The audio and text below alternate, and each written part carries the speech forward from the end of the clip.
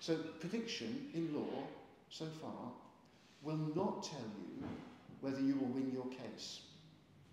It's only predicting that how different bits of the text connect. Now let's say I go to a lawyer and I want a prediction about whether I'll win my case or not.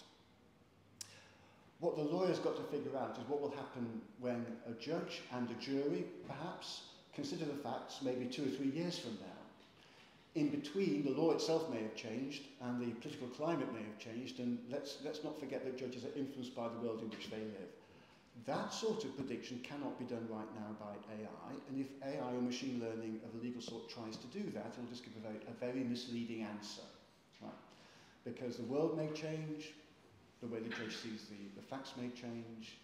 Um, all these things, a lawyer, I think a practicing lawyer, has a good sense of, especially if they've been practicing for quite a long time, because they will have seen this many times before.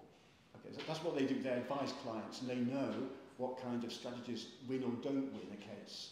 And their colleagues will tell them if they're young lawyers, they learn how to do it by practicing at the bar for a year or two before they really get to, to do it on their own.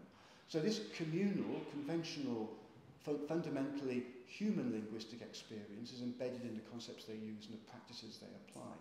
That part of it AI cannot yet do. Now,